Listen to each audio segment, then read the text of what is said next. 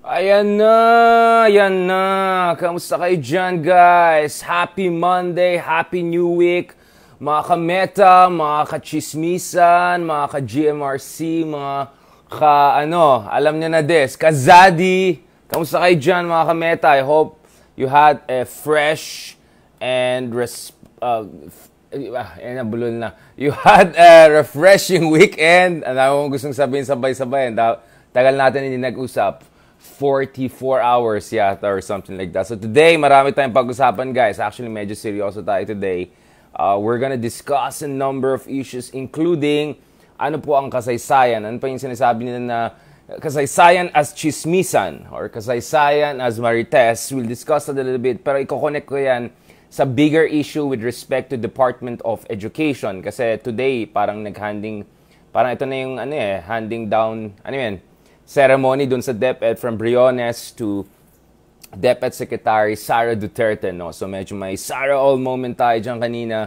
Pag-usapan din natin dyan, mga kasama. Kamusta kayo dyan? Dyan, dyan, dyan. And pag-usapan din natin mga historians. Mga historians. So speaking of historians, guys, mamayang gabi, kausap ko. O, join kayo sa amin. Ha? Ila-live namin ulit yan para sa podcast namin, Project Pilipinas si Lisandro Claudio. Professor Lisandro Claudio, otherwise also known as Leloy.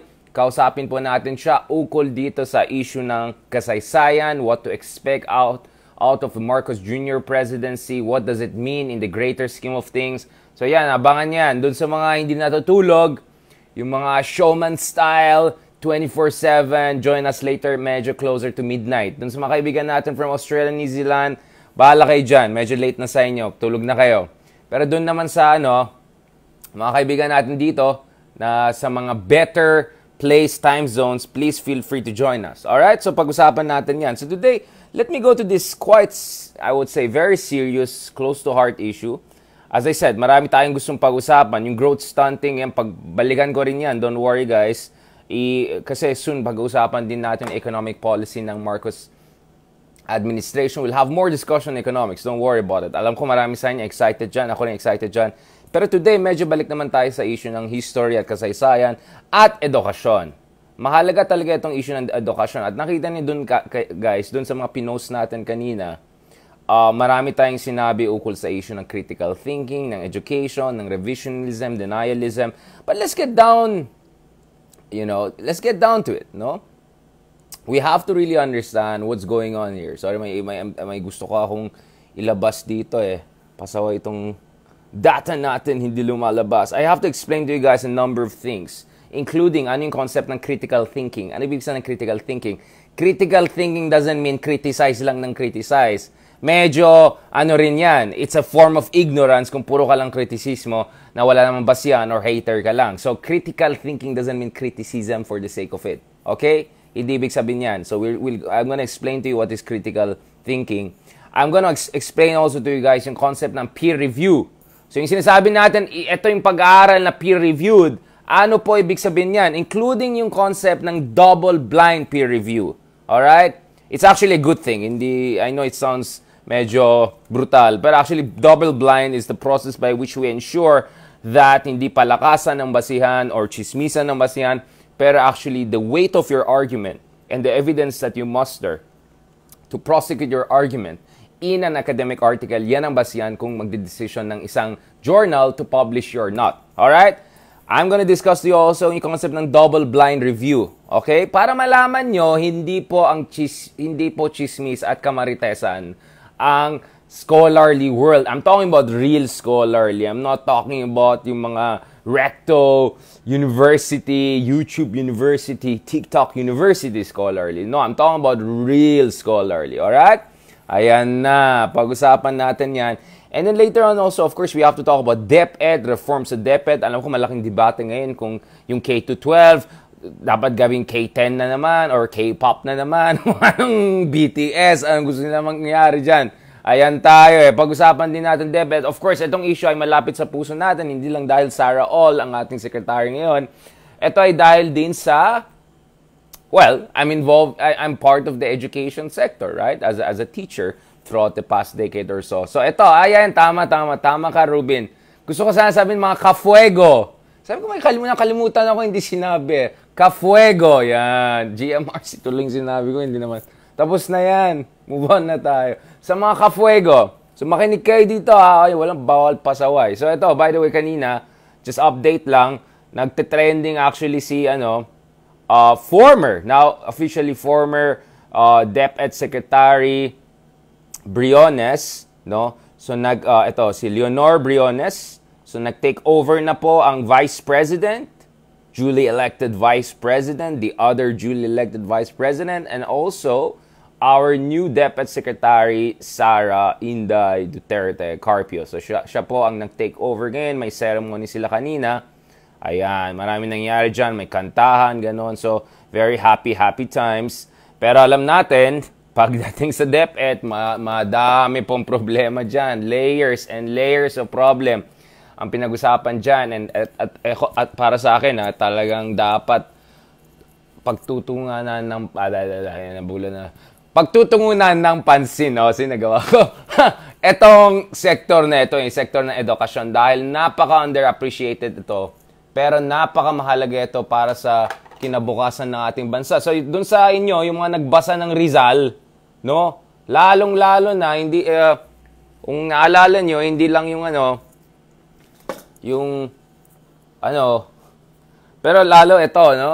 So, kung nabasa niyo yan, guys, oh, kasi Kindle yung binasa ko kasi ayaw kong masira to eh. Love na love ko kasi to. So what I do is sometimes I keep some copies and then Ilocano style, I don't even open it. But I read the Kindle version. So I have quotation directly from the Kindle edition.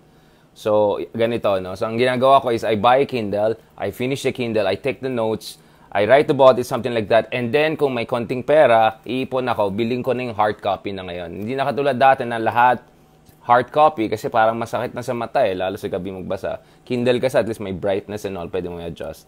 So this is the copy we have. So kung nabasa niyo itong mga lalo-lalo na itong mga magagandang Penguin edition ng mga Rizal books, nako po, malalaman na napaka-central ang issue ng edukasyon para kay Rizal because para sa kanya, this is ultimately the way no, to get the country out of not only physical colonial slavery but also mental slavery. Di ba? Kasi kung hindi matatapos itong mental slavery natin, kahit anong sasabihin natin, independent tayo, hindi tayo independent, regardless of our geopolitical or economic circumstances, if we are meant, yung hindi maayos yung mental slavery, we will always be at the mercies of tyrants, whether domestic, international, or the combination of the two. Kaya very, napakamahalaga yung issue na yan. And of course, maalala nyo dun sa Noli Me Tangere, isa sa projects nila Ibarra was to create a school, di ba? So yung eskwela, very central ito.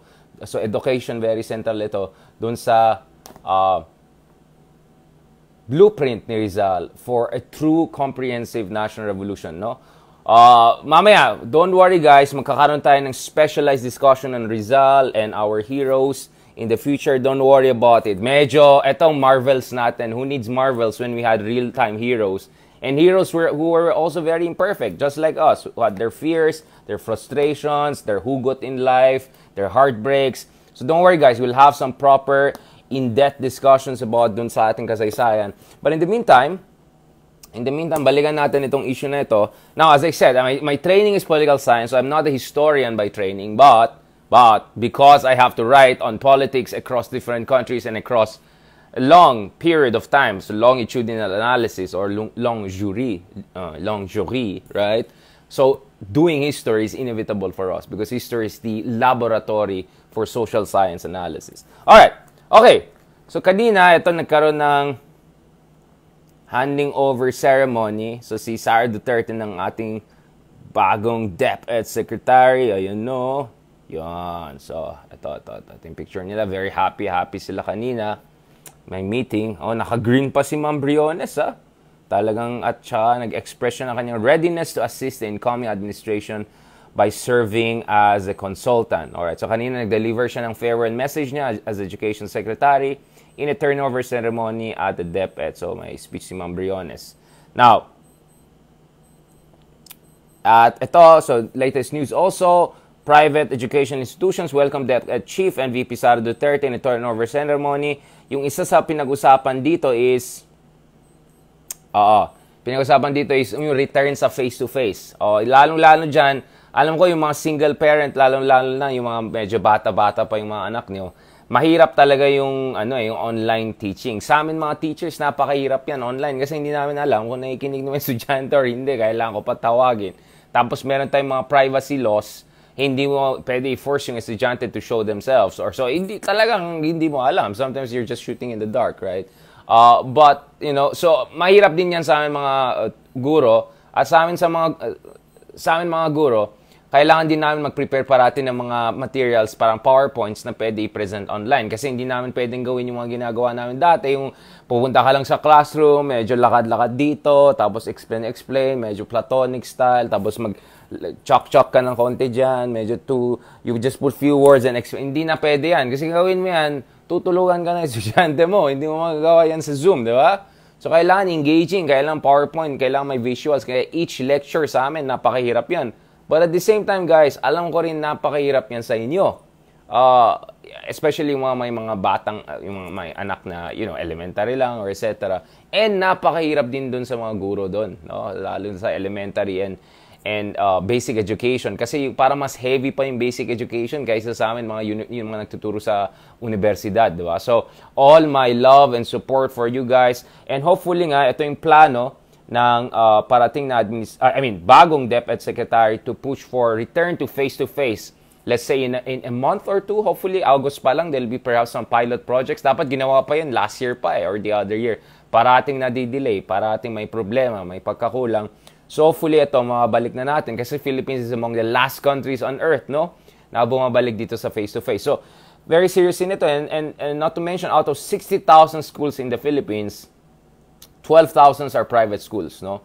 So, uh, so two-thirds, close to 70%, guys, uh, are, are public schools, and then around uh, 33% or so, they are from private schools. So, yan, pag-usapan din natin yan. Uh, actually, less than 30% actually are from private schools. So, mga 70 plus percent public school, uh, mga 20 plus percent ay, uh, yeah, barely 20% ng private school. But nonetheless, so a lot of coordination issues ang kailangan dyan. Now, Okay, pansin niyo medyo marami nangyari sa in my mind, a lot is happening. So, i-streamline natin yan. By the way, by the way, by the way, nakita niyo ba yung pinost natin kanina? Yung, um, yung interview ko with Ma'am uh, Carlos, Clarita Carlos. So, our National Security Advisor, Clarita Carlos.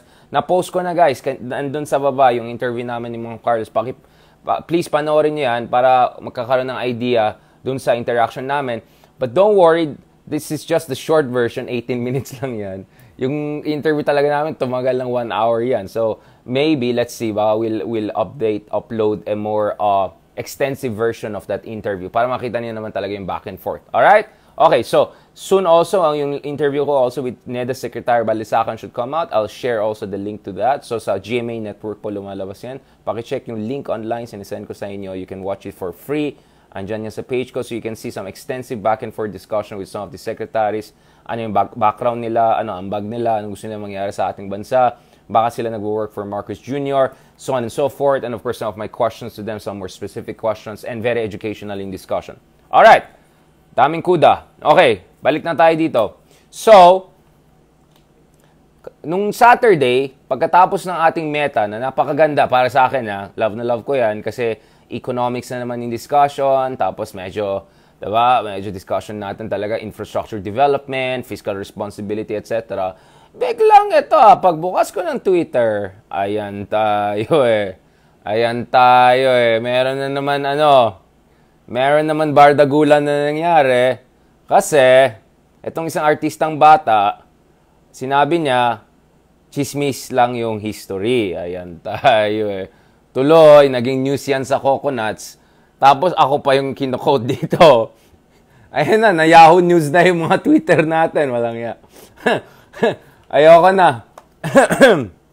Ayoko na. Shy ako eh, shy eh. Pag kinokode ako, shy ako guys. Di ako sanay eh.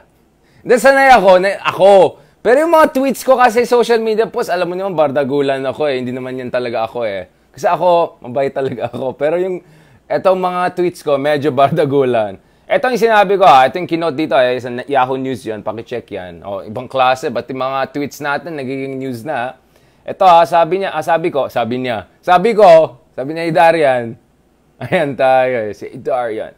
You know, you know, Sabi ni Darian, history, as in narrative based on verifiable facts and peer review, is exactly the opposite of what all these Marites folks are talking about. And you can imagine who I'm talking about. I'm not talking about a specific person, by the way. We know what we're talking about.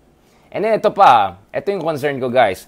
You know what? Sige, pag-usapan din natin, ano yung postmodernismo? Nako po, ang sakit sa ulo itong postmodernism na yan. Ayan. Kita niyo dito sa likod ko, puro mga Foucault yan. Foucault, Foucault, Foucault, Foucault, Foucault, Foucault. Ayan. Daming Foucault yan. Tapos may Derrida pa ako dito. Ayan. May Derrida tayo dito. Guess when I was reading this? When I was second, third year college. Noon pa lang, nagpo-postmodern na ako. Not naman in terms of believing in postmodernism, but I was reading this very carefully. Now, debatable if Foucault is postmodern himself specifically, but uh, technically speaking, is post-structuralist, pero medyo may overlap na yan eh. Especially if you look at his works. And many people actually blame that guy. Hindi to ah. Nakikita niyo ba? Ito, ito, ito. Ito, this guy. Ito, ito. Nietzsche. Friedrich Nietzsche. Yan daw may kasalanan na nagkaroon tayo ng yan, postmodernism. Dahil ang kanyang position sa buhay ay nihilismo, which is, uh, ang term niya is re-evaluation of all values. We have to create our own values, essentially from scratch. No? At that's the problem. When you create your values from scratch, you can also create your own kalokohan and fantasies from scratch, di ba? If anything goes, then nothing goes. Then, wala na, bardagulan na. So, balikan natin itong issue na ito, no? Okay, okay, okay. Anong Charles Foucault? Michel Foucault. Yamet. Ayan na. Foucault, Foucault, Foucault, Foucault, Foucault, Foucault, Foucault, Foucault, Foucault. Yan, lahat yan Foucault yan. And then, and then ito, ito, ito, ito, mo naman kay Nietzsche. Ayan, no? Genealogy of Morals. Itong basahin nyo. Ay, nako! Hindi niyo ako kilala. Lahat yan. Binabasa ko nung college time. Wala eh. Eh, may notes ako. Nakita mo yung highlights ko? Walang. Basahin ko nga highlights ko. Diba? Ba't yung mga dito, tingnan mo, ba't sa mga footnotes, may highlights din tayo. Talagang, parang masipag akong bata, in fairness ah. Ito, meron, meron quote ah, because truth was not permitted to be a problem at all. Ay, ay, gusto ko yan. Magandang quote yan. Truth was not permitted to be a problem. Ito ha, sa Genealogy of Morals ni Friedrich Nietzsche. Alright, okay, balikan natin yan. Okay. O, bumalik ka muna dyan. Mamaya tayo mag-usap. Ito naman kay Derrida, siya yung, ito yung mga, mga deconstruction, mga ganyan charva. Mga sinasabi niya. Ayan, parang we have to deconstruct yung mga meta meta-narratives, mga truths. Ito nga si Derrida, ibang klase, kini-question pa niya yung reason eh, logos eh. Na para sa kanya, reason as defined by Western Enlightenment kinda uh, distorts the real truth which is more complicated than logos and written materials and logic and philosophy. At may mas grabe pa dyan na philosopher na wala akong copy dito, si Martin Heidegger. Nako po! Nako po, kung nag-Heidegger kayo, Time and Being yata yung book niya dyan ay. Yan. Balay, ayan, komplikado maintindihan yan. Pero next time na tayo dyan. Pero si Hegel, dito kaibigan natin yan si Hegel. Ayan, si Hegel. Yan. Talaga, yan talaga. Yan ang, yan ang kasama ko na sa North Korea ako. May mga notes pa tayo dito. Ayan. Okay, marami na tayong distortions. Balikan natin itong discussion natin. Okay. Now, Ganito kasi ang problema ko, guys. If you look at postmodernism, it was a reaction to modernity. Right? Kaya nga postmodernity. Kaya nga postmodernity. The, the basic idea there, I'm gonna simplify it for is this, is that masyado tayong naging enslaved by the logic of capitalism, of modern society, of efficiency, of productivity, standardization, etc. So if you want you want a great novel that captures what we're trying to say here, basahin yung Hard Times by Charles Dickens. Ayan, meron ako dito. Ayan, Charles Dickens Hard Times, which is really a critique of the cold and you know, cold-heartedness of modern era. It's all about mathematics, rationality. It's all about logic, right? in a way, modernity can kill your soul, right? And at the same time, modernity, of course, is also shaped by relations of power, pre-existing relations of power. So in the case of Foucault, for instance, he says that even in the academic world, for instance, you cannot talk about knowledge in neutral terms because knowledge itself is uh, it ricochets within the four corners of a power relation. So certain universities are more influential than others, certain individuals within the university are more influential than others. Certain people, especially Europeans, tend to be more dominant in philosophy and theory, etc. So in short, ito yung sinasabi nila Foucault and a lot of these people who later on be either deployed as postmodernists or postmodernists will use their argument to question modernity is that modernity presupposes ito ah very shortly ah ito. Modernity is a project of arriving at ultimate truth. So capital letter T via science technology and reason right? That's the idea. Postmodernity says no no no no there's no capital T. There are many small letter T's. There are multiple there's a multiplicity of truth.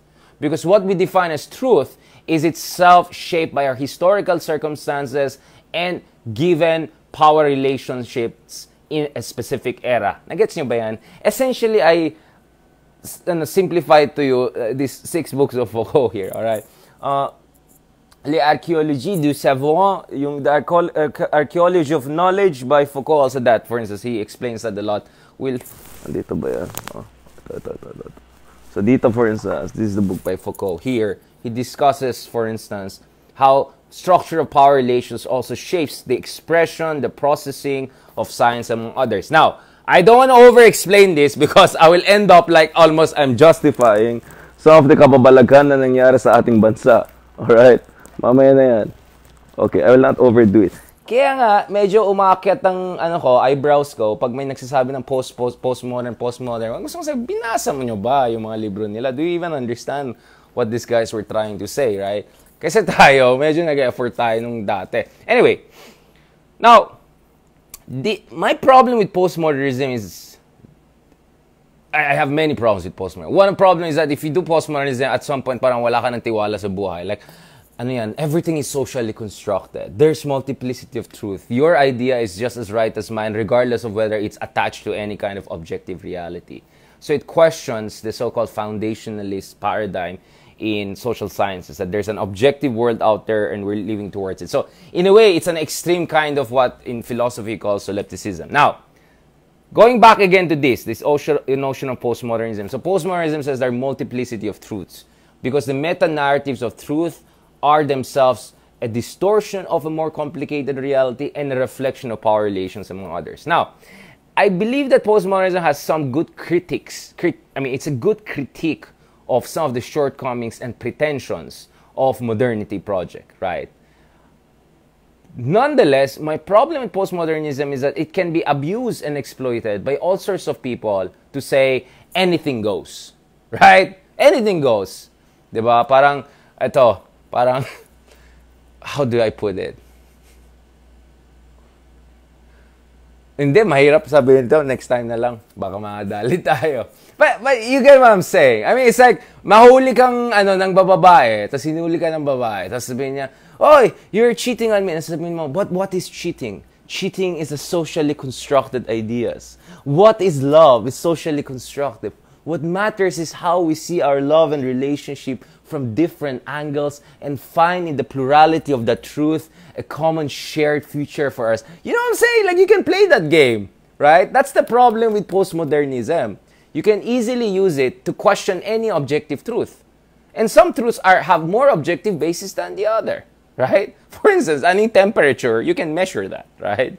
Uh, if a crime is committed, you can measure that. Postmodernism, but what is crime? Crime is what is defined by the state. But what is state itself but a stationary bandit, which imposes its will on the people and coerces them to pay taxes and obey. You, you get what I'm saying? Like, it makes sense to a certain degree, sure. Like, parang don't take everything for granted. But if you push it a bit too much, then it, it will be like you can justify anything, right? You can justify anything, right? You can question everything and say, but what is love? What is law? What is order? What is kind? You know, I mean, you, it's nice to have a conversation and all. We have to, but if you're just gonna question that there's any objective truth at all, medyo delikado ito. Medyo delikado ito. Marami tayong mapupuntahan dyan na ayaw niyong mapuntahan. Alright? Yan ang naging problema ko sa postmodernism. But the bigger problem I have, kaya nga ako, I was able to balance that out. Kasi second, third year college pa lang, itong mga binabasa ko. So I was able to balance that out because I focus on geopolitics, on economics, which is reality. Kung ma hindi maayos ang economics mo, people are gonna die of hunger. As simple as that. It's, you know, you cannot POMO, which is a shortcut for postmodern. You cannot POMO economic policy. You cannot POMO foreign policy. Right? Ganito ah, I'll give you an example. I'll give you an example. Ganito ah, parang sinugot ka ng ibang bansa at sinakop yung territory mo, tapos biglang magganon ka, magpomo ka. But what is territory? But the manifestation of the modern European conception of the state. But what is a state but the legacy of colonial powers? You get what I'm saying? Walang ya. Pinasukan tayo dyan sa West Philippine Sea. Sinisakop tayo Kinukuha nila lahat ng mga natin tapos eh, may mag-pomo ka. But what is territory? We can share the world. We can share love. You, you get what I'm saying? That's the problem. Yung in-exploit ang postmodernism to justify all sorts of kababalaghan. And this is also my problem, guys, right now because I see postmodernism is also being used, right, to justify proto-fascism, authoritarian populism, racism, and all sorts of questionable versions of anarchism, libertarianism, and all of these isms, which essentially are there to say, okay lang na may maling nangyayari because ano pa ba ang mali? Baka mali para sa iyo, pero hindi mali para sa akin. So let's just agree to disagree. So in short, respect my opinion. So the whole idea of respect my opinion is the most potent and destructive manifestation of mal-digested postmodernism. Yung, basta respect na lang my opinion, di ba? Eh, walang ya, huli kitang ganyan, tapos, hindi, respect na lang tayo. Guys, respect na lang tayo. Eh, paano kita respeto? May ginawa kang kalokohan. Eh, ano yan, di ba? Yan ang problema. Yung respect my opinion, guys, yan ang essentially POMO, PI style. Alright? Respect my opinion. Which is, anything goes. I'm entitled to my own facts. You're enti- I'm entitled to my opinion. You're entitled to your opinion. Your opinion. Our opinion, all of them are equally valid. Bahala na lang kung sino mas maraming boto. Parang padamihan na lang tayo ng numbers. Numbers game na lang tayo. You get what I'm saying? This is the problem we have. The respect my opinion ideology is essentially manifestation of postmodernism in the Philippines. As simple as that. That's how I see it. Right. Now, may, may batang nagsabi, and you see, I don't want even uh, name names. Oy, Wax, Flores, alam ko troll ka, umayos ka. If you cannot understand proper intellectual discussion, umalis ka dito. Otherwise, lagot ka sa akin. Oh, bahala kayo dyan, ha? Umayos ka. Umayos ka. Alright? So, etong sinasabi ko. Now, of course, I agree. Let me be very clear. Yung respect, see, I said it in, in quotation, respect my opinion because I'm, I'm referring to a specific phenomenon, right? Of course, maganda rin yung respect my opinion in the sense that you have, alam mo yung allegory, di ba? Like there are two blind guys, one touches the back of the elephant, one touches the front of elephant, and each of them think that's the universe, right? Now, in a way, they should respect each other's opinion because both of them only see part of reality. So I'm all okay with that kind of respect my opinion. In a sense that no, no, no one is perfect in terms of having uh, perfect information, etc. But yung tipong, yung opinion mo ay base sa kalokohan at kasinungalingan at yung opinion ko ay base sa peer-reviewed studies and verifiable evidence, hindi pwede yan. Hindi pwede yan. Do you get what I'm saying? So now, kaya nga sinasabi ko parate, you're entitled to your opinion but not your own facts. And better make sure your opinions are based on verifiable facts, in the alternative facts, fake news facts. Right? Okay. So this is where I say, yung may, may bata nang sabi na chismis lang daw ang ang history or history is just like chismis. Now, I don't want to blame this person. I don't want to name this person or whatsoever because unfortunately, mukhang ito, she was not exposed to the kind of, let's say, education that should have perhaps should have inculcated a better appreciation of what history is all about, etc. All right. Now, so I don't want to make this personal because this is what this is not what our metas are all, are, are, are all about. Our metas are about something more than that. Kaya nga meta, di ba? Ayan. Oh, bahala na kayo sa troll na yan. Umayos siya. Walang ya. Balik tayo dito sa Chismis at Marites. Hi. Parang hindi ko yata na-on yung aircon. Parang mainit na na-distract ako. Tuloy saan tayo napunta. Okay. Ito ah. First of all guys, we have to understand itong konsepto ng peer review. Kasi when you talk about history, I'm not talking about just random set of events. Kasi if history is just a random set of events, there's so much to talk about in ad infinitum. We should talk about the motions of the stars. We should talk about the Big Bang and the evolution in the uh, chemistry of the universe. You know, you know what I'm saying? We can talk about practically anything that happened in your barangay, your away with your kapatid, your away with your jowa. So, you know, no, we're not talking about events per se. History, as in history with letter with capital letter H, what we're talking about here are the, the major forces and personalities and factors that have shaped our current circumstances and could shape our future, right? So it's not everything under the sun, or not even the sun sometimes included there, right? Now, and when you talk about the discipline of history, you're talking about analysis and meta narratives, right? Grand narratives. Parang mahirap na gumamit ng meta. Grand narratives that are based on scholarly studies and verifiable facts. And that is where, guys, ang di-discuss natin dito is yung konsepto ng peer review. Alright? So, ano po ibig sabihin ng peer review? So, this is how it works. So, let's say, ito, hey Darian, okay? Mayabang ka eh. Feel mo, ang galing mo. Sige, sulat tayo. Gusto ko magsulat tungkol kay tatay. Para sa akin, si tatay ang the best, kunyari, di ba? Mag-submit ako sa journal. Okay? Now, sabihin natin ikaw siguro prof ka in some university, whatever. Okay, going big time done. Okay lang yan. Now, if you want to submit a journal article to a reputable, you know, set of people, you know, you want to submit for a journal article, dadaan po yan sa peer review. Ano ibig sabihin yan? There will be at least three other experts in whatever field you're writing in who will be asked to review Right? Hindi pa kasama yung fact-checking, editorial, yung mga ayusin yung grammar, ayusin yung prose, ganun. Hindi, hindi pa kasama yan. Just the substantive level. Right? You have three other people who should not be related to you at all. Totally from a different world, who should not be attached to you. So the selection, there's, there's a selection process kung saan pinipili sino magre-review sa'yo and they have to be leading experts in their fields. Right? So, yan ang nangyayari dyan. So, when you submit the post, and then sabi nyo, Tatay Digong, best president ever, ganun, best in the solar system. Pag dumaan yan sa review, anong, anong best in the solar system? Meron bang ganun? Ah, so, doon sa peer, there'll be three of them. And sometimes, magkakaroon ng tiebreaker. Kaya nga tatlo, di ba? Because what if one says no, one says yes, and another one says go ahead tayo. And then, even if they say go ahead tayo sa first draft mo, the reviewers will put all sorts of comments there, very detailed. I have a question with your methodology. I have a question with your interpretation of the data. I have a question with your data set. I have a question, for instance, with your main argument.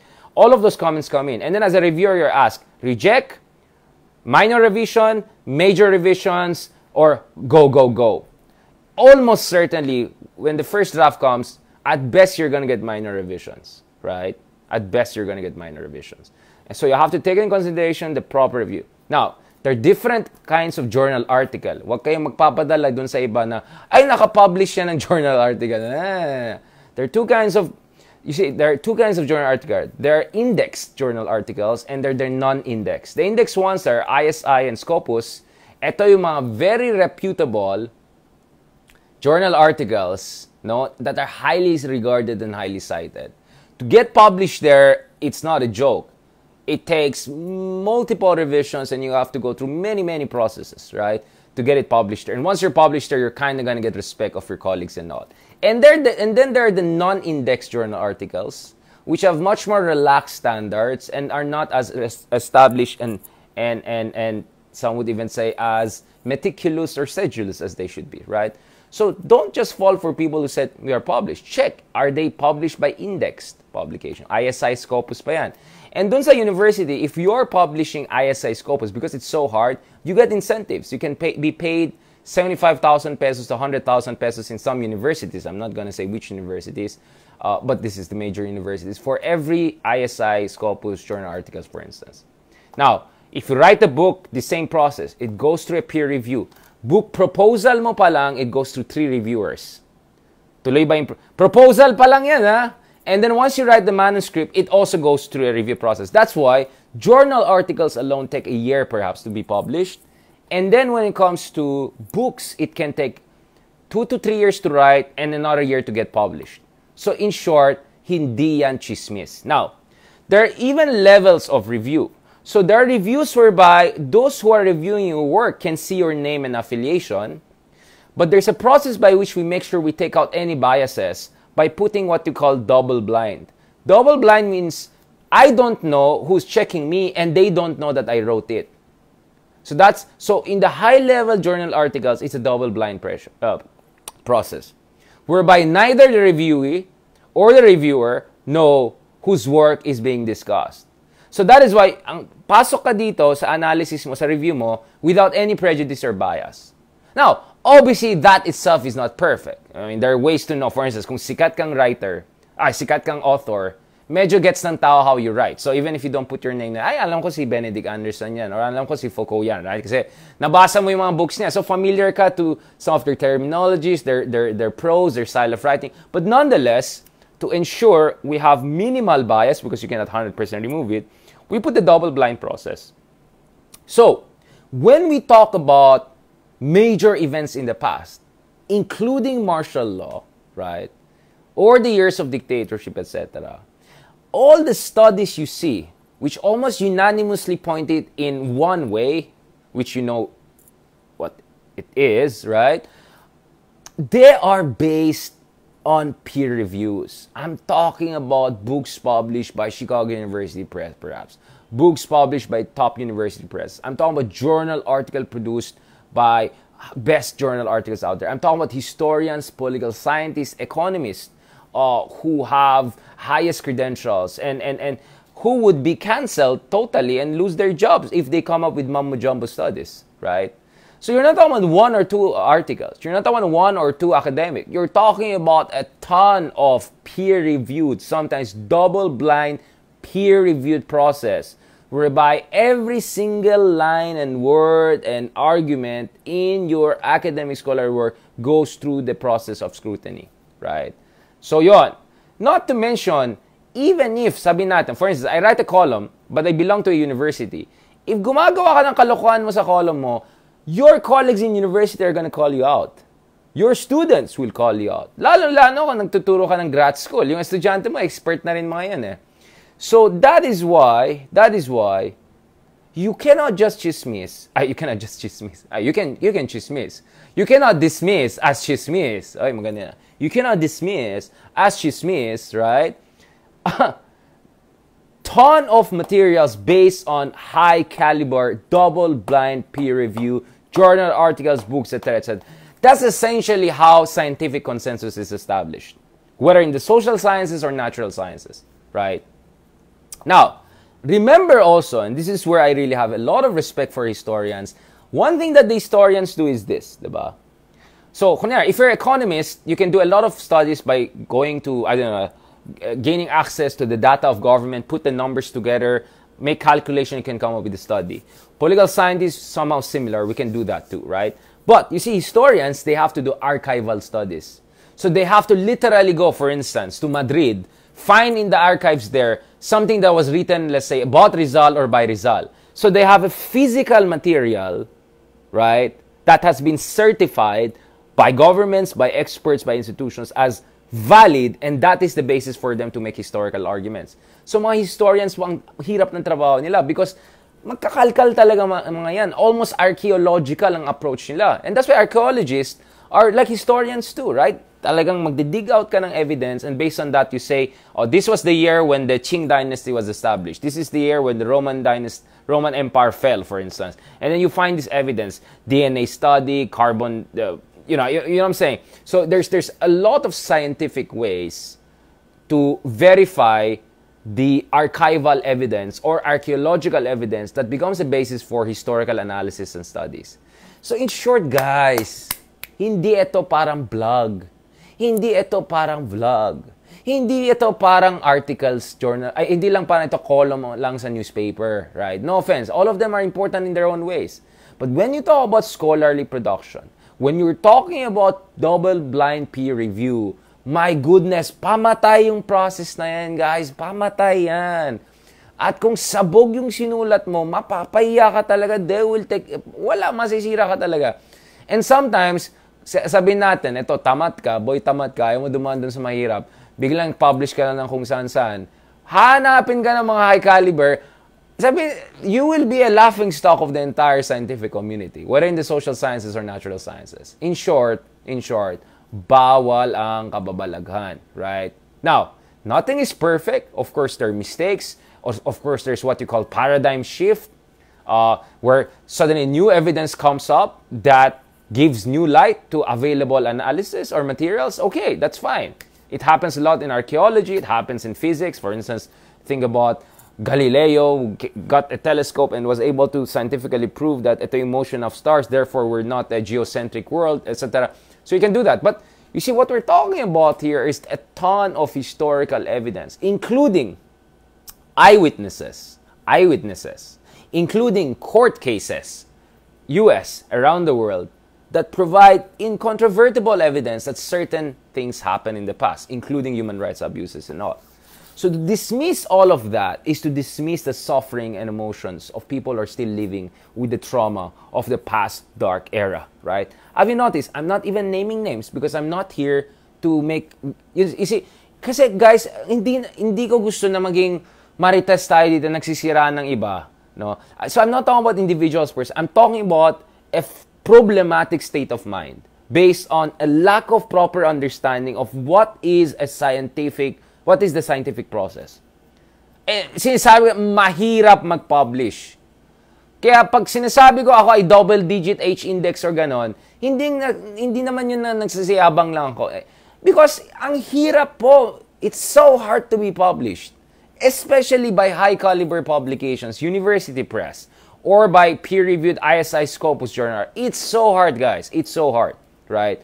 So if you got published by them, and not once, not twice, but many times, and then eight of you out of ten are saying the same thing in all of these top-level art, uh, journal articles, you cannot just dismiss, the, the, dismiss them as chismis. I mean, dismiss chismis, nabubulol na ako. So, that is why what I'm saying is this. Kung may issue ka sa history, show me the evidence.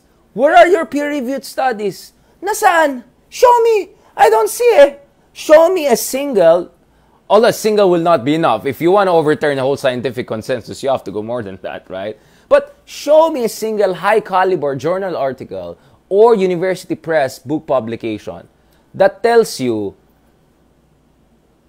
marites lang lahat ng mga sinasabi nila about the darkest years in our modern history. Come on, show me one.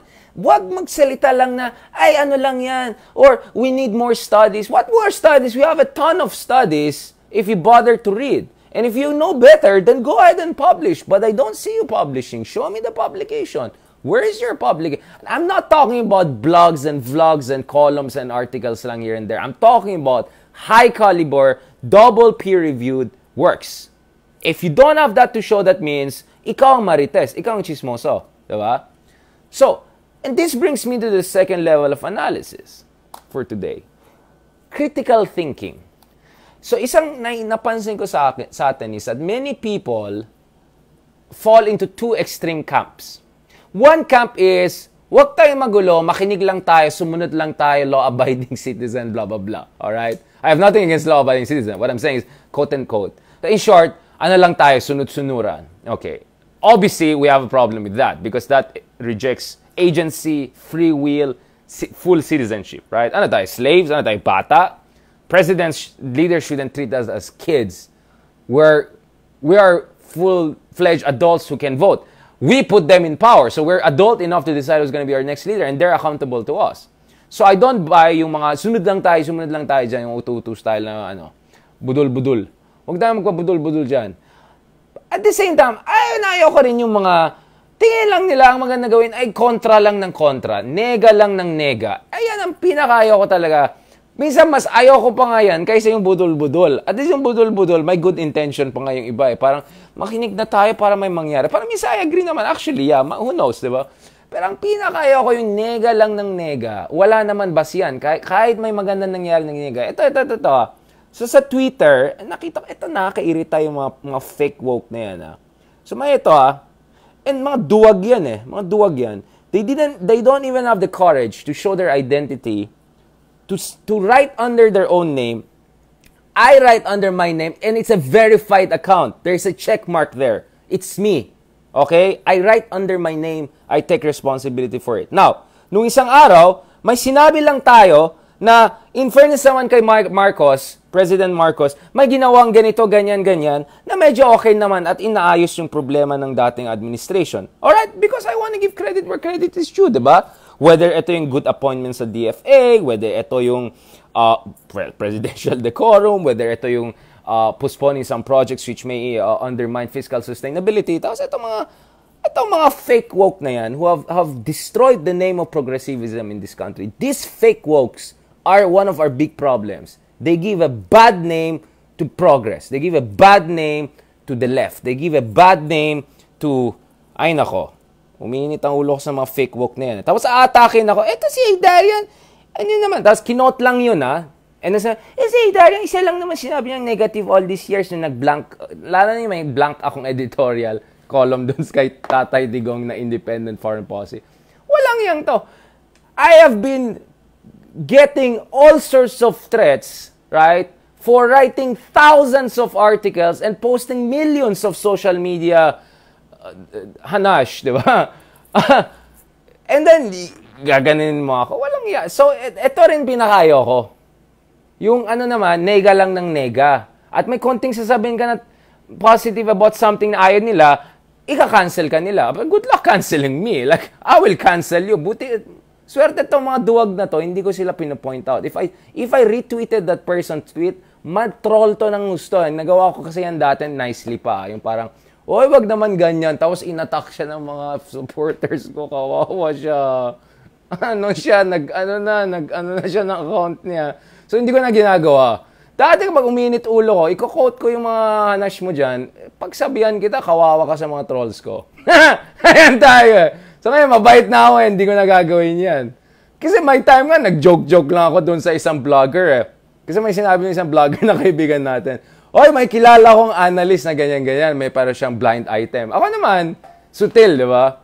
Uy, baka naman ako yun ha. Ginanong ko siya. Oh my goodness, after a few hours, nag-message siya sa akin, Richard, anong TV ng pinost mo? Inatak ako ng mga kameta mo. Ganon, ganon daw. Sabi ano ba? Sabi ko, joke lang yun. So I had to go there and clarify. Oy guys, nagjo-joke lang ako. So after that, I realized na medyo, ano na, delikado na. So, pero ano to, maglagot tong mga batang to eh. Duwag na nga kayo. You don't write under your own name. Then you have, you have the audacity How dare you question me? I got thousands of threats throughout the years for speaking my mind and conscience, right? I have millions of posts, right? I have millions of engagement, tens, hundreds of millions of engaged probably on social media. I had thousand articles written on the previous administration. And to say, to judge me based on that, yan, yan ayoko yung nega lang ng nega. So, what is critical thinking? Going back to my good friend Hegel, it is the negation of negation it is negating both, so it's neither nor, right? It's negating both ututo na nagpabudol-budol and at the same time nega-nega na hater. Both of them are wrong. Critical thinking means case-to-case basis, you look at the evidence, you make a judgment, then you also look at the big picture and make an assessment about the whole system, right? Critical thinking is about, so this is what we do in school, and I'm very thankful to UP, my alma mater, right? for, for inculcating that critical thinking in me. And when I've been teaching in other universities, Ateneo, La Salle, whatever, I also try to impart that UP style. Now, I'm not saying they're not doing it. I'm just saying UP has a different style. Including yung mga tamad na prof dyan na critical thinking lang tayo. Bahala na kayo mag-aral. Ayan, ayan. Sir naman, magturo ka ng konti para naman. Hindi, hindi. Critical thinking yan, guys. Mag-aral lang kayo on Hindi, hindi. Ayoko, ayoko. Hindi, wala tayong name dito. Oo. Uh, mamaya tayo mag-blind item. Mamaya. Hindi naman sa UP, pero may mga tamad na prof mga, guys, critical thinking tayo. Wala, kaya wala na tayong syllabus, wala na tayong readings. You just have to think for yourself critically. Uh, um, sir, but paano tayo mag-graduate na to? Anong, anong, anong petyo na? Yan, wag naman ganon, di ba? Critical thinking means like this. Going back to the metaphor I always use, or analogy. It's like painting. So you go to a, to a art school, right? A good art teacher will teach you the techniques of doing sculpture and painting. But he will never tell you how to exactly do this painting or that painting or what exactly to paint. He will teach you the techniques. He'll gives you he'll give you the uh, rules of the road, the lay of the land, but at the end of the day you come up with your own painting based on the techniques that you learn. It's kind of the same thing also. So what you do for instance is you don't come into your student and say person X is a bad leader or a great leader. You don't do that. You go to the student and say, this is how we collect evidence about history. These are the available evidence that we have about this person. Based on this available evidence, these are the sets of assessments, preliminary assessments we can make about this person. Now, of obviously, always the glass is half full or half empty or one eight full, two eight, ten. So depending on. But I will leave it to you to decide whether this is the kind of leader we want or not. Do you get what I'm saying? That's inculcating critical thinking. Or look at what I do in our, our meta. I didn't endorse a single candidate in our metas. Now, I had the opportunity to, to uh, uh, interview some over the others, etc. Of course, I have certain political values. I have certain humanistic tendencies and predilections given in. But at the end of the day, it's up to you guys who you want to vote. What I'll, I can tell you is how to arrive or what I think is the best way of arriving at a judgment about who's your best uh, candidate. And then I'll not only say which candidate is good, I also explain to you which candidate can work best in these circumstances. So for instance, ganito yan. Oh, let me give you another uh, analogy or metaphor. Let's say bibili ka ng kotse, di ba? So there's like, there's like, I don't know, BMW, Benz, Ferrari, Farmali, ay, sorry, Ferrari, Lamborghini, okay. No, no, no. And then there's like a Subaru there. Now, in a nutshell, maybe I don't know this Lamborghini is the best car or I don't know the Mustang is the best car I don't know. But circumstances matter. Let's say you live in Dakota or Ohio and the I don't know the snow is so thick. Now in that circumstance actually my advice to you is to buy the Subaru. Because Subaru and this is by the way true uh, Subaru has the best tires and systems to deal with yung, yung mga pag nag-freeze na yung mga roads and all of that. So actually so a Subaru may not come over a Lamborghini, let's say in a nutshell, but under those circumstances, I'm for Subaru. In politics, it's the same. There could be candidates actually who on paper actually look the best. Pero feeling ko, hindi yan mag-work sa Pilipinas. Mag-work yan siguro sa Norway or Sweden. Or mag-work yan siguro sa, I don't know, Saudi or I don't, hindi yan mag-work sa Philippines. Di ba? Kasi dapat yung leader mo, tugma din dun sa panahon. Pero hindi ko sasabihin sino dapat yan. Ang sasabihin ko lang ganito yung sitwasyon natin, ito yung mga candidates, pros and cons, bahala na kayo mag-decide. Do you get what I'm saying? So that's critical thinking. To allow people, to empower people to think on their own, to make their assessments on their own, and to learn, you know, the, the tricks of the trade, the lay of the land, the rules of the road, and how to put things together, right? Bahala na kayo mag, ano, to put uh, evidence and all together, but I'll teach you how to do proper critical analysis of a situation. That is the critical thinking, guys. Oh, 'di ba Alexis tama, 'di ba? Yung Subaru the best 'yan sa mga yung freezing ano. So kung punta ka sa Midwest or Northern US, my suggestion is get the Subaru. I'll never suggest to you Mustang or or Ferrari, definitely not Ferrari or Lamborghini. Good luck dyan, di ba? So, do you get what I'm saying here, guys? So, critical thinking is empowering the students to think on their own by learning the process of logical reasoning, to be able to sift through and distinguish between fake news and marites on one hand and actual peer-reviewed studies and also to be able to look at two sides of the coin i don't know four sides of a elephant you know and come up with the gen- general assessments about things. And then respect my opinion no problem. Because i know your opinion was arrived at not because may napanood ka sa tiktok or dahil nakikibanwagon ka lang, or nakyutan ka lang sa candidate na ito, or nabudol ka lang ng ganyan. Hindi. Is dahil nag-isip ka naman, you put all things together, all things considered, I lean a little bit more on this because of this consideration. And then you lean, yeah, actually, the guys who do that best, alam mo yung mga vloggers na in, kino-compare nila yung mga kotse, they never tell you what car to buy eh. Yung mga good ones ah, that I watch ah, yung mga sa mga kotse ganun, they never tell you this car is better than this one. They always say, kung itong hanap mo, ganito ang budget mo, eh, itong speed ang gusto mo, itong horsepower, itong endurance, insurance, whatever, para sa akin, maybe this. But if you're looking for this and, and zaddy ka na, hindi ka naman 20s, di na bagay sa'yo ganyan, baka ito ang gusto mo makuha, di ba? Or kung masyado kang bata, huwag kang mag-BMW, mukha kang DOM, di ba? Yung mga ganun, gets no? So, that's how you, so in a way, some of these vloggers teach you to do critical thinking when it comes to cars. Which cars are the best, right? So, ganun din yan, guys. Eh. Ganun din yan. So, I can use a lot of other analogies in boxing, in sports, etc.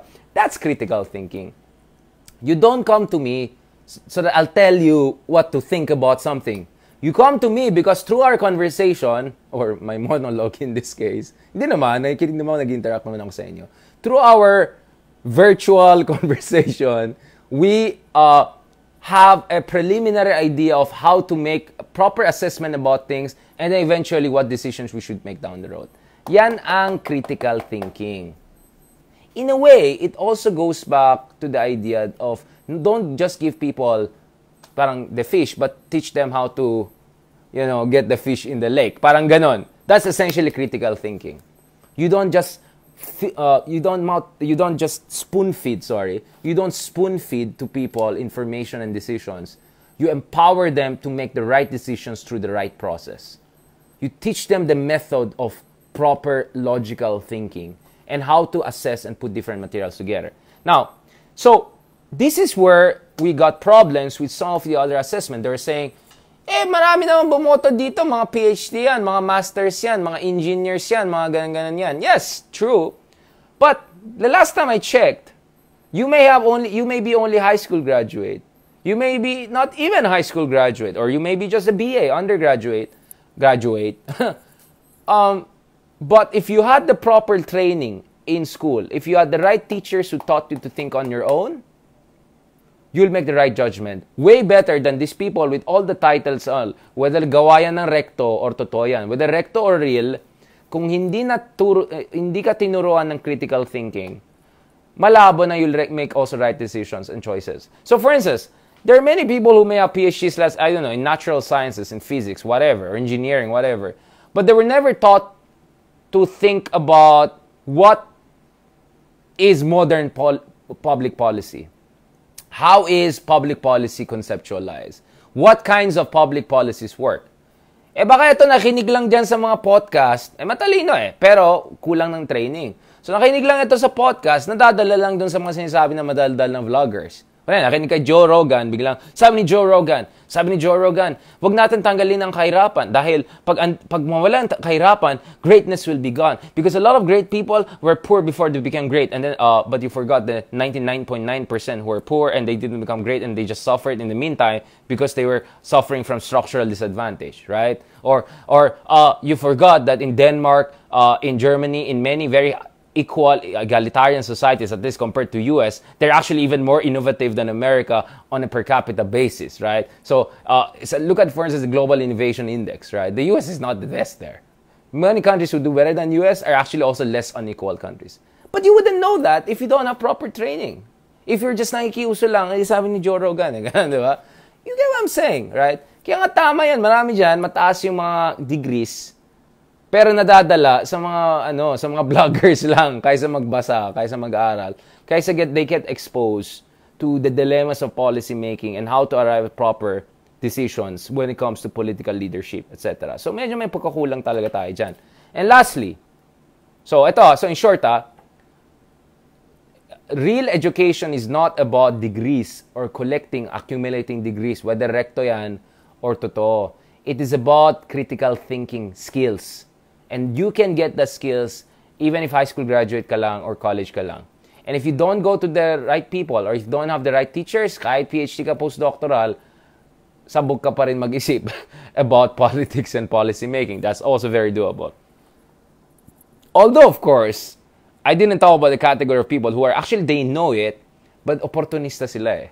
So they'll still side with bad people Because may pera para sa kanila. Because may position sila. Now, ibang usapan na yan. Alright? Ibang usapan na yan. Medyo hindi critical thinking ang kulang dyan. Ang kulang dyan ay moral conviction. Alright? Moral compass. Ibang usapan yan. So I'm not talking about people with... I'm talking about, let's say, all of us have moral compass, but we need also critical thinking. And then there are people who have no moral compass whatsoever. Kung an, kahit ano ituro mo dyan, wala, hindi nila magamit sa tama. Now, ibang usapan yan. Kaya nga sabi ko, we need leaders who have good heart and a good mind, eh, good ma, good heart and a sharp mind. Dapat kasama yan. Hindi pwede yung isa lang. Kasi good heart nga, wala ka namang critical thinking, bara-bara ka mag-isip, sabog ka. Kung good mind naman, pero walang heart, baka gamitin pa sa masama. Ang masama, hindi rin maganda yan. So, dapat pareho. Meron naman yan eh. Masyadong mababa yung standards kasi natin. Eh. We don't look... Parang ano yun, naghahanap ka ng jowa kasi heartbroken ka or ano. Basta, yung, basta kung sino nandyan, basta may future, pwede na. Hindi, relax lang. Kaya nga parati advice ko sa mga friends or yung mga tao na dumaan sa heart breakup. Even sa mga ex ko na iba, ko na dumaan sa... Wag, ano na, wag ka mag-boyfriend ka. Just, you know, chill ka lang. Just, you know, make yourself grow and all. Yan. Okay, wag na. Okay, change topic na tayo. But you get what I'm saying, alright? Okay, the last thing I want to talk about is this, guys. And later on, uh, later mga 11, please tune in if you want to join us. I'll, I'll, be, I'll be joined by my very good friend. We used to be debating against each other in, in college. He was from Ateneo. I was from UP Diliman. So we had a lot of back and forth back in the day. We were colleagues back in Ateneo. Now he's in UC Berkeley. My good friend Lele Claudio, Dr. Claudio will join us later on. So pag-usapan natin ito yung history as chismis, no? And also, what does the Marcos Jr. presidency mean in the greater scheme of things? So he's going to bring in a more historian point of view. As I said, I'm more political science and economics. He's more history. So medyo may may differences kami. And then, of course, we will be joined by my very, very good friend, vlogger extraordinaire, one person who's, I would say, 40% responsible for this meta. Like, if he didn't inspire me and push me, I wouldn't have had this meta. So I'm very thankful to him, of course, to my good friend, Mark Gamboa. Alright? So please, guys, tune in later on. Tuloy-tuloy namin ang discussion na yan. Thank you so much, guys. I really, really appreciate our discussion today. Alam ko medyo, medyo nabubulol ako nung nag-start ako. Hindi ko alam bakit, para masikip yata. Hindi naman, di ba? Hindi naman masikip, di ba? Okay naman yung ano natin, di ba? Ayun, oh. Si Lodian. Yun, yun, yeah. Sting like a bee. Move like a butterfly. Mga ganun. Yeah. Yan, okay. Alright.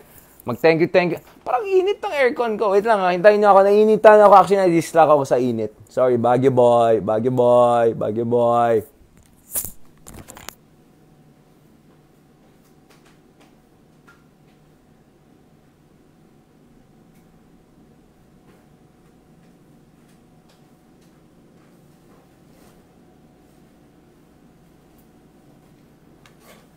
Ayan, nainitan ako eh. Oh, ito, ito. T-shirt na lang ako. Ayan. So, ano yung sinasabi natin? Ito ah. Okay, thank you, thank you muna tayo dyan. O, wag na kayo mag ano ha, magmarites na naman. Kaka... Kanino ko pa sinasabi, wag tayo magmarites. Ngayon, ako yung minamarites nyo. Hindi, meron akong, alam mo yung parang movie ng, ano yung parang butterfly ba yan? Yung butterfly effect. Ano, hindi, hindi ba? Ano yung movie na yan? Yung Eternal Sunshine, something like that past is past, wala na, you never happened. Dapat ganyan kayo sa mga ex nyo. You never happened. And then move forward na kayo. And after few years and all, okay na, parang wala lang, back to zero. Okay. Ayan, thank you, thank you naman tayo dyan. Sorry, nasan si Zaddy? Ay. You know? Hindi, hindi yan ang kailangan ko. Wait lang. Oh, by the way, next time tayo mag-Rizal ka na, don't worry about it. We will discuss more. Kasi Rizal had a lot to say on education and all. Kaya ako, kaysa atakin yung mga bata or mga ganon na may nagsabing mali, isipin nyo, why would, why would they even dare to say na chismis ang history? Because nga, kulang yung critical thinking sa ating basic education. Kaya kung ano-anong kamaritas yung sinasabi ng iba, Now, ibang usapan niyo yung mga walang moral compass. Iba na yan. Ayan. Thank you kay Robin. Thank you kay Ma Victoria Baltazar. Thank you kay Mila Gachalian. Thank you kay Rose Uy. Thank you kay Ellie Ocampo. Thank you kay Jocelyn Lomberio. Ayan, si Jocelyn. Ayan. Very, ano yan, VIP supporter natin yan. Meron pala guys, VVIP. Doon sa inauguration ni Marcos, meron pala isa pang category. Very, very important people. Ibang klase. Ako gusto ko triple VIP. Yan. Si Eileen Orbeta. Shout out naman dyan. Sabi ni Leia Zarkil. Sabi naman ni Eric Estrada. Uy, UST Grad School. Kamusta naman kayo dyan, mga UST? Alam mo ba, may sasabihin ako pero wag na lang eh. Pero it's a good thing actually. Doon sa four school, yung so-called Big Four. Ay, ako na. Hindi, next time na. Huwag na tayo magsalita. Anyways, lahat ng school magaling. As sabi ko nga, hindi lang ako naniwala sa Big Four. Even though I've taught in three out of those four big schools, or I've, I've um, yeah, somehow, or like, attached to three out of those four big schools, and soon to be, you know. Okay, um, I don't believe. But anyways, basta mabait ang mga UST ang gusto kong sabihin. Napakabait nila. Yun lang. Lahat ng mga na-meet kong UST in my life, with rarely, with one probably exceptions, lahat sila mabait. Whether high school UST or college UST or lahat. Si Mocha, mabait din naman, di ba? Yan.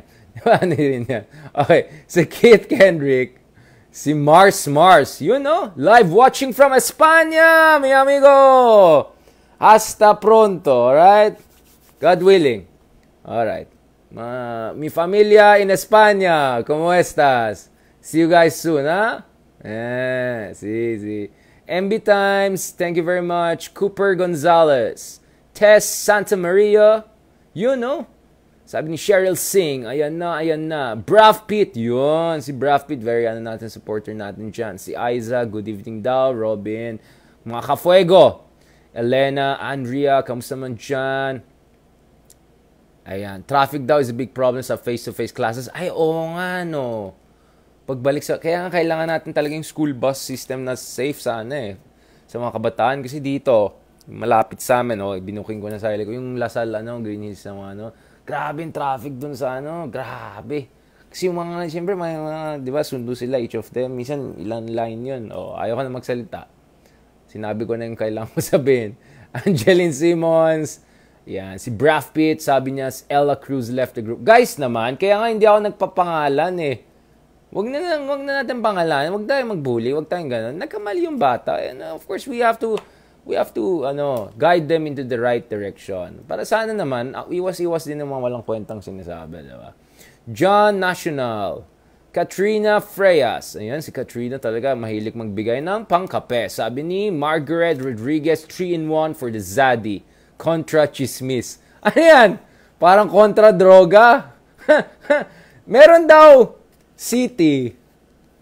Ang, pag pumasok ka daw sa city yan, nakalagay, yes to sports, no to drugs. May mga ganun. Welcome to. Mga ganun. Hindi ko alam Gimaras eh, or something like that. May nag ano, may mga taga-UP talaga kung ano ng kwento nila. Lane Enor, thank you very much. Vilma Rojas Alberto, yan, supporter natin dyan. Hi din sa inyo. Mary Gandeza, thank you very much for your support. Thank you kay Jen Aquino. Sabi niya, critical thinking is a tool of logic. Sana lang kasama to sa subject na ituturo sa... And guys, ah, yung logic, hindi lang yung syllogism. Ah. I mean, of course, syllogism is a kind of a mathematical way of looking at things. Pero yung logic in sense na parang ayoko na magsalita, mahirap na. Kayo na mag-connect ng dots. Basta alam nyo na. Ayan tayo eh. Ayan tayo. Ronnie, Rona D, thank you for your support. Ayan. Joshua Rivera Dado. Napansin ko, hindi ko pa rin napag-usapan yung DepEd, no? So maybe let's leave it to another. Let's wait for some big statements from DepEd Secretary Sara before I can make a proper meta on that napansin nga, thank you guys sa yung mga nag-advise na wag mo wag, wag ko daw isama-sama multiple topics, medyo magulo. So, we'll try to be disciplined, stick to one topic, and then medyo mag-fuego jokes tayo afterwards. Alright? Thank you kay Vilma Alberto. Uh, thank you kay Lane Enor. Thank you kay Joel Amonello. You know, thank you kay Diane Liasos, Fenice Miguel. Yan, si Ma'am Miguel. Mabait yan. Si Jose Seguilia. You know, Hi, Prof daw. Sabi ni Fayed Aisha. Wassalamualaikum. Team replay naman daw si Mike Rojas. Charlie Gonzalez. Kamusta naman kay John? Kay Jer Pronimo. Ayan pa lang sasabihin ko sa dulo. Kailangan mag-vlogger talaga yung mga historians din. Ayan. Para naman, di ba? Kaysa tayo magreklamo. Kasi ganito guys, eto, how many people will have the privilege of going to the best schools and getting schooled on, you know, Nietzsche, Foucault, and all that? Wala, hindi naman lahat eh. So, bakit naman, why, why should we confine this only to those who enroll in our classes? We should get the message out. Spread the love, di ba? Spread the love. Spread the love but not the fake news. Danny and Sisa, wag chismis daw, sabi niya. No. Shem Zashen, thank you very much. Anna Cabalias, you know. Dewey Elma, sabi niya, please guess Ambet Ocampo for those Marvel PH heroes. sounds exciting. O nga, no, si, si Ambet. Busy si Ambet eh, masyadong big time. Di ko kaya. Di ko siya abot. Sige, mag-beat pa kami sana with with the other historian friends. Si Xiao Chua rin, we are calling for him to come back. Busy siya eh. May time siya kay Christian Esguerra eh. So, mamaya na lang after. Si Robin, kamusta naman dyan? Transition from English to Tagalog teaching. I don't, you know what? Dapat sana trilingual tayo eh. Espanyol, English, at a Filipino that actually has not only Tagalog 90%, but is actually a mixture of different languages. Pero wala, hindi nagawa. Tinanggal yung Espanyol. Yung Filipino natin, 90% Tagalog lang naman. So yung mga Bisaya, Ilocano, hindi nakaka-relate masyado. Ayan tayo. Tapos ngayon, gagawin pang Tagalog lang. Ang hirap naman nun. Ang hirap naman nun. Para lang matuwa si Robin.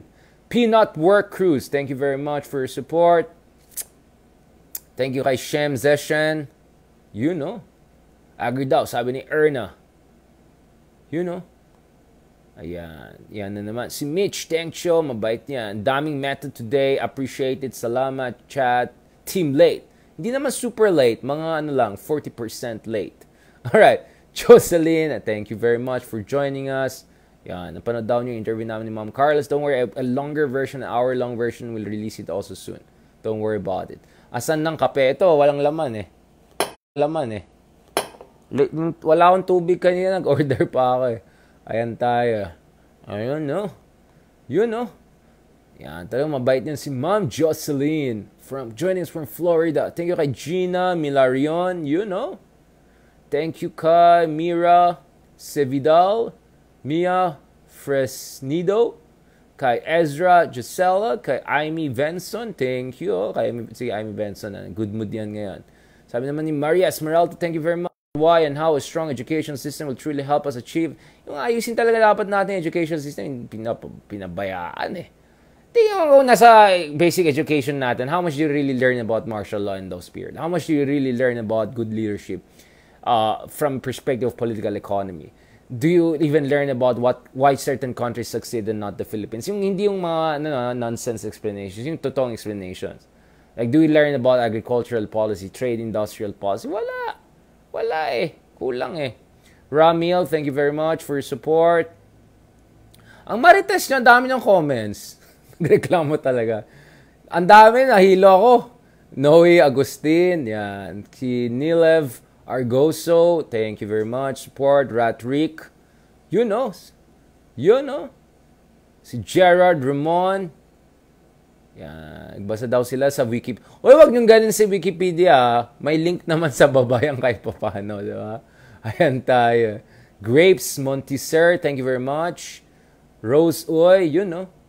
Nasaan na yung troll ko kanina? Grabe naman to si Edwin, polyamory kagad ang topic. Ayan, simple gift naman daw to my niece Ariana. Oy, thank you very much kay Ma'am Lorena. Screenshot ko yan, ha? meron Bibigay ko to kay Ariana. Meron ka na pang ano. Huwag naman kayo masyadong mabait. Mabait na kayo masyado kay Picasso and ano, kay, sa iba. Sa akin kayo mabait dapat, okay? Sa akin lang. Grabe! Grabe, territorial. Walang, ayan tayo. Lenny Clemente. Yung iba nga, nagsiseparation anxiety na eh, pag wala tayong meta. Alawang Frederick. Friedrich. Yan, alaman ko, Friedrich. Yan. Senen Makalalad. Thank you very much for your ha-ha-ha. Ayan. Thank you kay Rizal Reyes. Ayan. Ito, ito, ito. Si Wax R. Flores. Obvious na troll. Kawawa naman yung picture ng aso na nilagay mo. Napaka-cute naman, which I'm sure hindi ikaw ganyan ka-cute. Okay, or walang cute na ganyan aso na pupunta sa'yo. Sorry Lord. Respect my opinion, guys. Basta yun, na-promo tayo ngayon. Postmodern. Respect my opinion. Uwi ka na lang daw, sabi niya. No? Oh, tr- alam mo, advice ko, troll the trolls. Parang malis sila dito. Huwag tayong mabait sa kanila. They don't deserve. Pag ginanong kayo, deserve. Deserve! Basta ito guys, ah, I respect your opinion if it's based on facts. And you're not entitled to your own facts. You're only entitled to your own opinion based on facts. So, yun. Gandang gabi daw sa inyo, Ria Cruz. Anyari daw, ayan, nag-postmodern lecture tayo. Vince de la Cruz, thank you very much for joining us. Rose Quito, yun eh. Talagang mga ano to, mga Thank you kay Senan, Makalalad. Talagang mga ano eh. Thank you kay Ivy Garcia. Thank you kay Maya na. Thank you kay Robin. Ano daw? Yes. Di ba guys, sabi ko ganyan tayo, di ba? Yan. Okay. Palaban tayo. Mel Mendoza. Yan. Tama ni Cherosal. Legit daw mga historians dapat ang kausap natin. Alright, thank you rin kay. Hey Darian. Thank you, hey Darian, for your good meta today. I really like it. Kausap ko lang sarili ko, wag kayong makialam ah. Ha! naman tayo. Kami lang mag-usap ha. Mamaya na kayo, huwag kayong magulo. Basta hey Darian, magaling, bro, kayang-kaya mo yan, bro. Ganun. Ayan na naman ha. Oh, wag na tayo magpangalan ha. Magpakabait tayo. Mabait tayo dito. Basta bro, kaya mo. I mean, di ba, when may meeting ka, nasarap ka ng mirror. You can do it, man. You're the best. You're the man. You're the best. Tapos ka You're the man. You're the best. Tapos yung pag ganun mo, nakatingin sa'yo yung mga tao. Like, Ayos mo yung coat mo. You're the man. You're the best.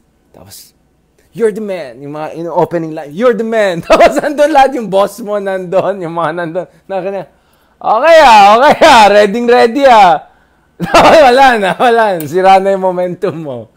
Pero kung medyo meta ka, oh naman, yun na, yun na, ayun ta, yun na, galing ah. ha, yun na, ready, ready ah.